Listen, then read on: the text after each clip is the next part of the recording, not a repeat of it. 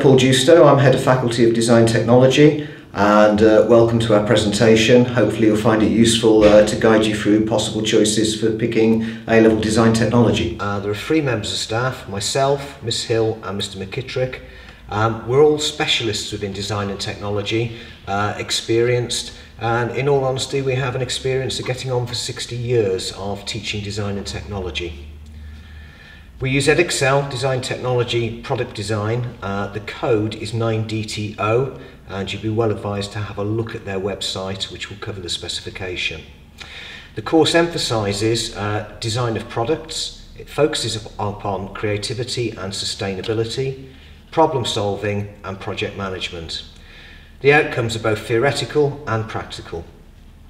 Choosing a course allows a wider knowledge of design, an awareness of products and an opportunity to demonstrate your creativity. In the lower sixth, we cover the majority of the theory element.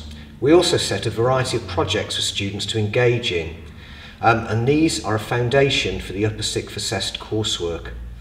Within these, we extend a knowledge of materials, construction, generation of ideas, model making, third-party feedback, and evaluation. In the upper six, students engage in an independent project. This is worth 50% of the final assessment. At the end of the course, there is a two and a half hour theory exam that makes up the other 50% of the award.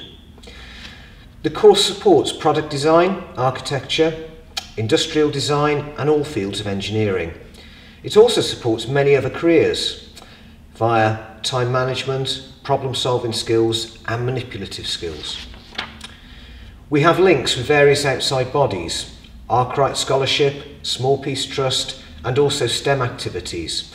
And these allow uh, for further experience and also university applications. And now, some examples of our pupils' work.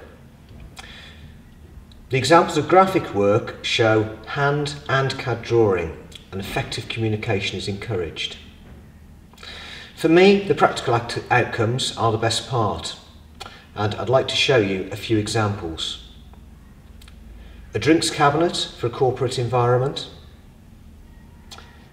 a fully functioning mechanical clock for the library, a chessboard, coffee table and storage, which is modular and allows a variety of uses, an electronic skateboard with a theoretical 0 to 60 in 3.5 seconds, all controlled by hand. Bluetooth high speaker, hi-fi speakers with an architectural element. A barbecue table for outdoor living. A flat pack chair. An engineer's lathe. A Coke can dispenser for the fridge. A workspace for the office environment. A machine router to cut mouldings in timber to match architecture and historical buildings, a desk for the reception of school, outdoor seating, and a medley of other products.